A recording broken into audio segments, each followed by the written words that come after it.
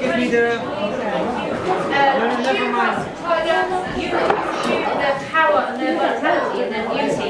But unfortunately that doesn't work and it is